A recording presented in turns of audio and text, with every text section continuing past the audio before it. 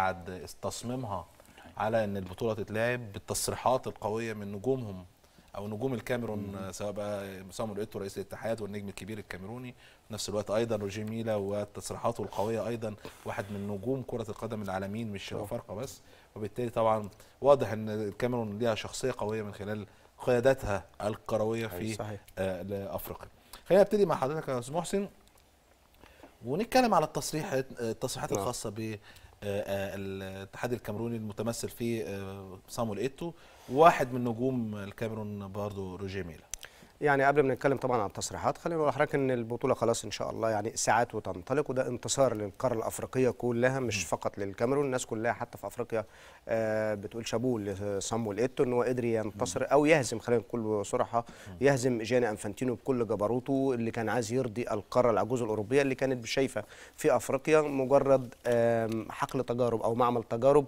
بتاخد منها اللي هي عايزاه وعايزة تلغي اللي هي عايزاه يعني حتى كانت تلاقي مثلا إيه آه إن مثلا إيه دايما السؤال من أي صحفي أوروبي آه لأي لاعب أفريقي مشارك مثلا في دوريات أوروبا كلها يقول له هل ستشارك مع منتخب بلادك في مع إن السؤال ده مثلا لا يسأل لأي لاعب مثلا في. هيشارك في أوروبا أو حتى في أمريكا الجنوبية أو حتى في آسيا لكن يسأل فقط للقاره الأفريقية دايما بيحاولوا التقليل منها النظرة مش م- يعني مش م- مش هنداري. يعني؟ هي عنصرية مش هنداري. أنا بقول لحضرتك هي إحنا مش هنداري. هي عنصرية. دايما ينظر للقارة الأفريقية إن هي أقل بكتير من آه، ال- ال- ال- القارة الأوروبية تحديدا يعني أو الآخرين. فعشان كده دايما بينظر لها بنظرة هي متدنيه مصنع نجوم بالظبط. هم أصلا. تعالى شوف الدوري الإنجليزي عامل إزاي أو ليفربول أو يعني هم النجوم اللي متصدرين يعني. آه، وليه ما بناخدهاش برضو يعني برضو أنا عايز برضو أفكر بمختلف يعني. إن نعم.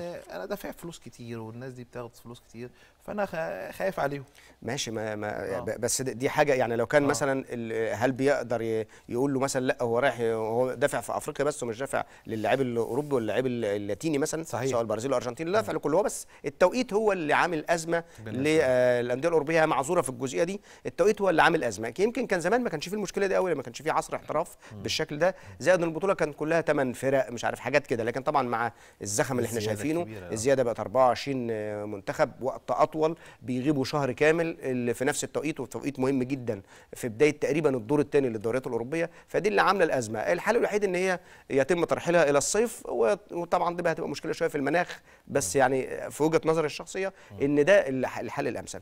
نرجع للتصريحات. أنا آه، تصريح اللي حزنني أكتر طبعا بتاع روجيه ميلا اللي هو هاجم طبعا مصر والمغرب إن هو لو لو مش عاجبكم أفريقيا روحوا آه، ال- العبوا في أوروبا.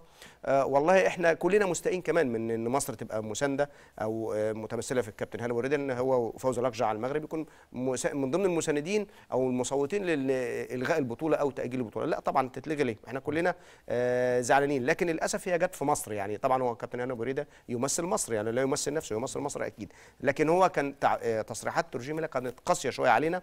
آه، يعني أنا زعلت منها جدا.